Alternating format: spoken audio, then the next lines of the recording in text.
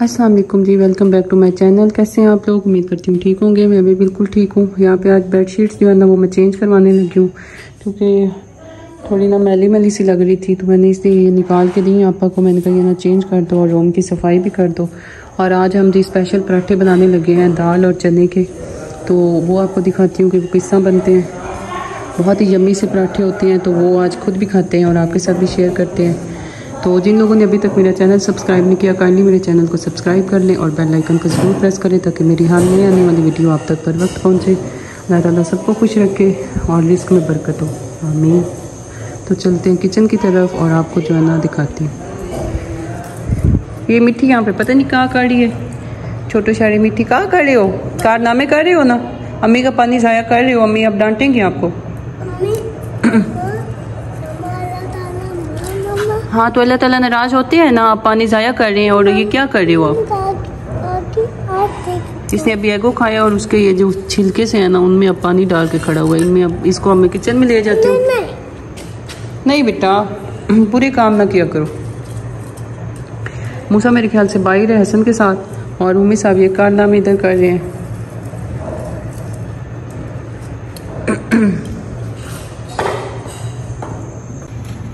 यहाँ पे जी हसन का नाश्ता तैयार हो गया। हसन ने ये अदरक वाली चटनी बनवाई है और साथ में सालन भी है और खुश्क वो रोटी खाते हैं। वो अभी जनाजे पे गए हुए थे, अभी आए हैं तो उन्होंने नाश्ता मांगा क्योंकि ग्यारह बज गए अब तो अब नाश्ता बनता भी था हसन का।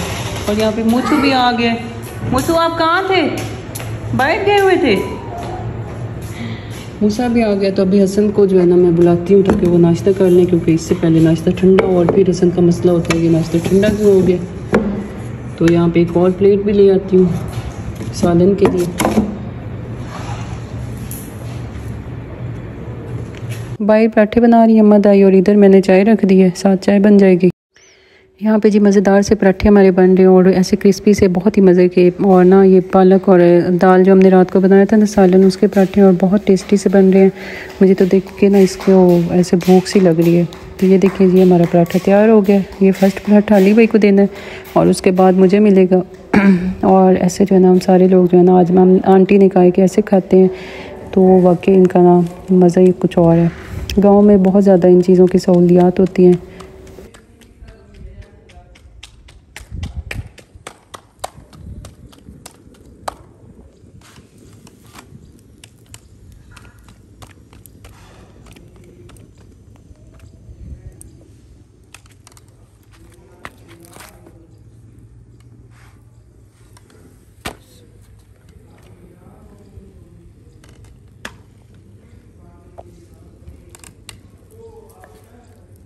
अगर आप लोगों ने नाश्ता करना है तो आप लोग भी हमें ज्वाइन कर सकते हैं और ये देसी स्टाइल के नाश्ते जो है ना, आप भी हमारे साथ कर सकते हैं।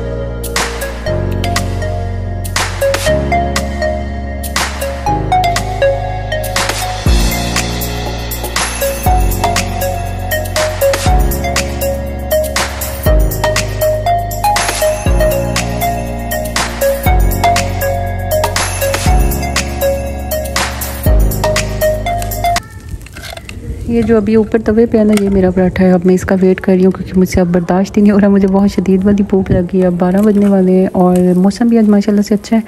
इतनी ज़्यादा जो है ना धूप नहीं है। बादल भी हैं थोड़े थोड़े तो अल्लाह करे आज बारिश हो जाए। अभी मेरा पराठा बस जो है ना बनने के, बन, बनने वाला बनने वाले मराहल में आ चुका है। मैंने उसको कहा है कि अच्छा मुझे क्रिस्पी से बना के दो। घी भी ज़्यादा सारा लगवा रही हूँ, क्योंकि मुझे ना क्रिस्पी पराठे अच्छे लगते हैं। गिले पराठे मुझे ना इतने ज़्यादा ख़ास पसंद नहीं है।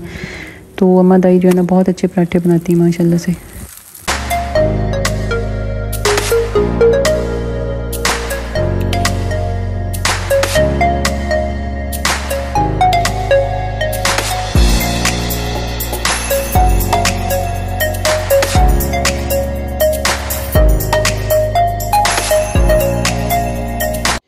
ये देखें जी, मेरा पराठा बन चुका है और बहुत मज़े का पराठा बन गया है। अब बस मैं खाने लगी हूँ, चाय भी बन गई है। आंटी मुझे बार बार कह रही है कि आ जाओ और चाय भी ले लो, मैं बस चाय लेके और फिर जाके जो है ना वहाँ पे बैठ के लॉन्च में खा लेती हूँ। साथ में बच्चों को भी बुला लेती हूँ। मैंने अम्मा दाई से कहा है कि रूमी का पराठा भी बना दें तो आपके मुँह में पानी तो ज़ाहिर आ रहा होगा इस पराठे को देख के, क्योंकि मुझे खुद इतनी ज़्यादा भूख लगी हुई है। अच्छा जी, यहाँ पे नाश्ता जो है ना मैं करने लगी हूँ, मेरी चाय भी आ चुकी है और नाश्ता भी करने लगी हूँ। साथ जो है ना हसन अभी नाश्ता कर रहे हैं, अली भाई ने नाश्ता कर लिया है। ये अदरक की चटनी जो है ना वैसे अच्छी होती है, लेकिन मुझे इतनी ख़ास अच्छी नहीं लगती क्योंकि अदरक और मेरा जो है ना इतना ज़्यादा ख़ास है नहीं। हमारी आपस में बनती नहीं है इतनी। मुझे अदरक इतनी पसंद नहीं है। तो ये है कि अल्हम्दुलिल्लाह से नाश्ता जी हो गया, ये थोड़ी सी चाय रहेगी अब पीते हैं और फिर बर्तन उठाती हूँ। अभी रोमी की टॉयज सुबह सुबह सारे अंदर रखवाए थे क्योंकि धूप इतनी तेज़ हो गई थी ना तो मैंने कहा, ये किराए को पड़ जाते हैं इन पर ना प्लास्टिक के स्लाइड वगैरह पे। इसका पूल भी अंदर रखवाया तो अभी इसको दोबारा सारी चीज़ें बाइक लेके जा रहे क्योंकि इसके फ्रेंड्स आ गए। ये आपका पूल पहले उड़ गया था, पता है?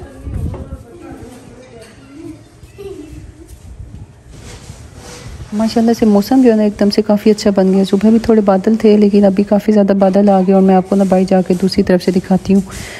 हसन सोए हुए वरना मैं उनसे कहती कि छत से सारी वीडियो बना के ले आती और फिर वो आपके साथ शेयर करती। अच्छा अभी आहिस्ता आहिस्ता सारे टॉयज़ बाइट लेके जा रहा है। पता नहीं इसका इरादा मेरे ख्याल से नहाने का बन गया है तो इस वजह से पूल भी जा रहा है बाइट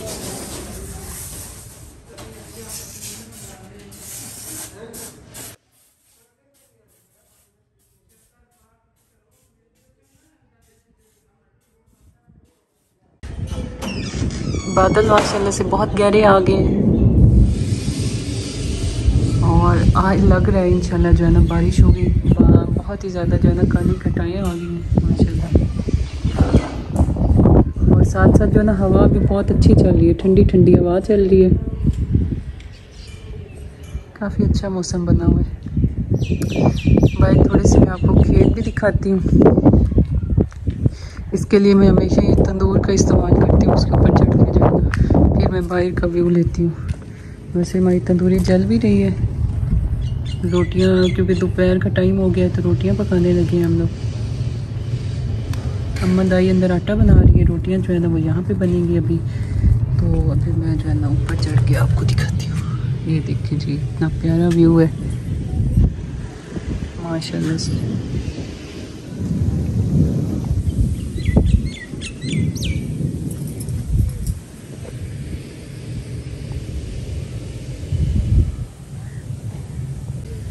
माशाल्लाह से गाँव का जो माहौल है, कितना साफ़ सुथरा सा है, हर तरफ़ ग्रीनरी है, खेत है और इतना प्यारा मतलब कि ब्यूटीफुल सा व्यू होता है ये। तो सिटी में ये सारा कुछ नहीं मिलता। शहरों वाले जो है ना, वो तरसते हैं। मेरी फ्रेंड्स हैं तो वो भी बेचारी जो मतलब कि जिनके गाँव वगैरह नहीं है तो वो काफ़ी ज़्यादा होती हैं और गाँव होना चाहिए इंसान का। कभी मतलब ज़ाहिर है, उन लोगों का बहुत ज़्यादा दिल करता है गाँव जाने का ना, और गाँव देखने का।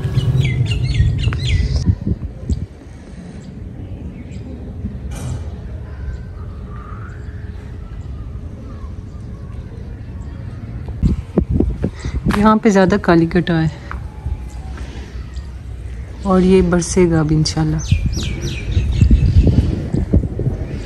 देखिए, आवाज़ भी आ रही है बादल की काफ़ी ज़्यादा।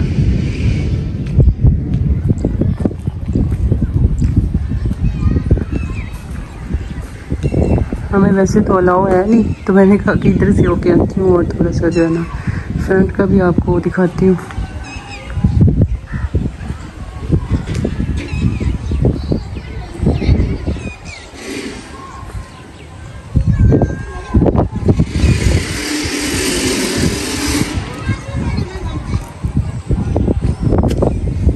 देखिए रूमी जो है वो इधर खेल रहा है, बैठा हुआ अपने फ्रेंड्स के साथ। इतना खुश होता है ना इनको देख के, घर चले जाए तो इतना उदास हो जाता है।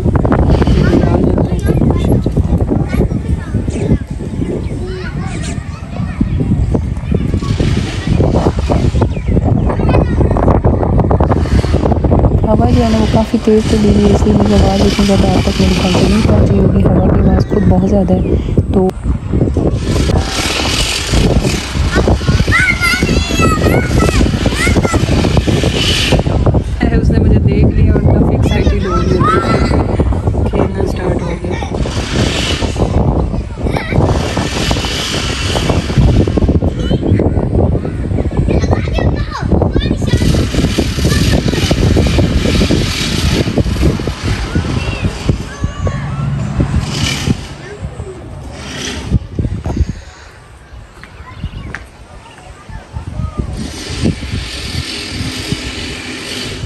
इधर जी स्कूल है और इसमें ये ट्रीज़ वगैरह लगे हुए हैं, वो नज़र आ रहे हैं। जी मेरा बेटा, क्या खेल रहे हो?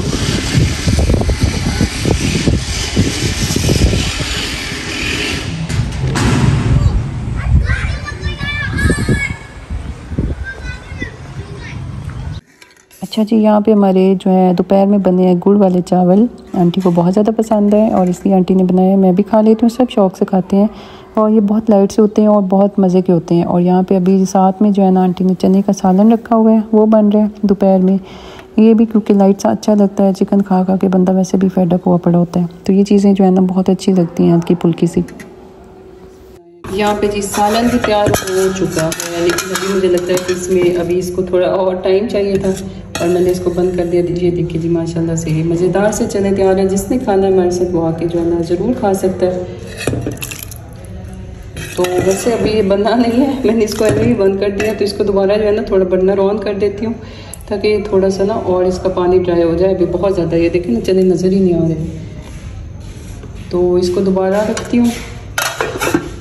मुझे तो आज मौसम जो है ना बहुत ही कमाल का लग रहा है, माशाल्लाह। और बार बार मेरा दिल कर रहा है कि मैं बाहर रहूँ। अभी मेरा दिल कर रहा है मैं फ्रंट पे जाऊँ, लेकिन वहाँ पे अभी जो है ना मैं जा नहीं सकती, क्योंकि अली भाई के पास कोई आए बैठे हैं लोग तो इस वजह से जो है ना वहाँ पर मैं नहीं जा सकती। तो मैं बार बार इधर आती हूँ, यहाँ पर देख के खुश हो जाती हूँ। रोटियाँ भी यहाँ पर लग रही हैं हमारी तंदूर पर तो ये जी हमारी रोटियाँ बन गई हैं, थोड़ी बहुत जो है ना ये लगा रही हैं। वैसे असल हिम्मत तो ये इनकी होती है ना अम्मा दाई वगैरह की ना, जो इसा करके लगा लेती है। मैंने ऐसे अभी हाथ रखा है और मुझे अजीब सा फील हुआ है कि इतना ज़्यादा गर्मी है अंदर। ये माशाल्लाह से फूल जो है ना हमारे लॉन के हैं। कल भी अली भाई ने काफ़ी ज़्यादा इस टोकरी भर के दी थी और आज फिर माशाल्लाह से इतने ज़्यादा हो गए और इतनी प्यारी खुशबू आ रही है माशाल्लाह से और बहुत ही अट्रैक्टिव से हैं। मुझे आज का व्लॉग यहीं पे एंड करती हूँ। उम्मीद है आज का व्लॉग आपको बहुत ज़्यादा अच्छा लगा होगा। मिलते हैं नेक्स्ट व्लॉग में। अपने कमेंट में ज़रूर बताना है कि आपको हमारी मॉर्निंग रूटीन कैसी लगी है। और जो है ना, आप मेरे बच्चों के लिए बहुत ज़्यादा दुआ कीजिएगा। अल्लाह ताला सबके बच्चों को नेक लाइक बनाए किसी के साथ अल्लाह ताला मेरे बच्चों को भी नेक लाइक बनाए। एक नए व्लॉग के साथ मिलते हैं जी। नेक्स्ट व्लॉग में अपना बहुत ज़्यादा ख्याल रखिएगा। अल्लाह हाफिज़। Good bye tata.